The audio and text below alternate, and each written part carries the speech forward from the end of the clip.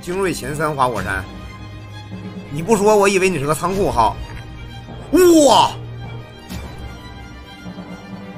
老板，你真是够低调的呀！我去，我们都被给你给欺骗了。八十级灵士一套啊，兄弟们！我去！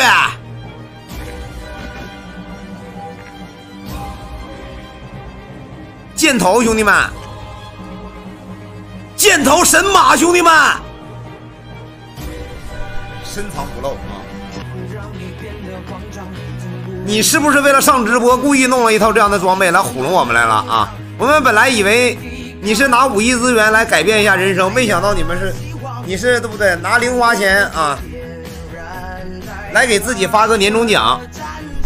九级，这是一个花果山人物的话，修炼是八修九，辅助技能满前程满强壮满神速啊，限量祥瑞啊，呃，深海狂沙啊，然后加地浆啊，限量祥瑞花瓶这方面老板没有追求，锦衣的话也是没有追求，单纯的追求实力，神器不涉及到，子女孩子一定有个魔镜激发的啊宝宝啊，他这个是呃什么孩子？无底洞的孩子，这个技能是啥呀，兄弟们？哎呦，谁说的两千攻击？我老板不让看属性，然后我他妈随口不让看攻击，妈的，我他妈不小心给点开了，我是。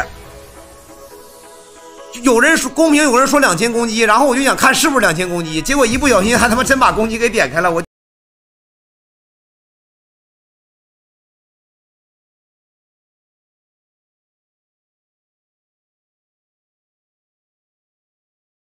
我操！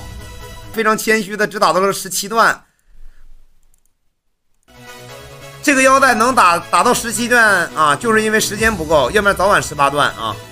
帽子十六段的无级别，只打十六段是因为早晚得换。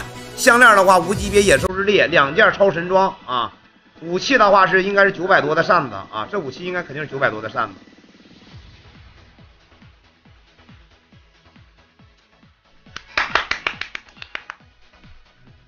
还有进步空间呢，伤害速度加误爆。兄弟们，它在面板的同时，它有很高的误爆几率。还有备用的腰带、鞋子和项链啊，吸收的、光芒的、神农的、三属性的、极限伤害的。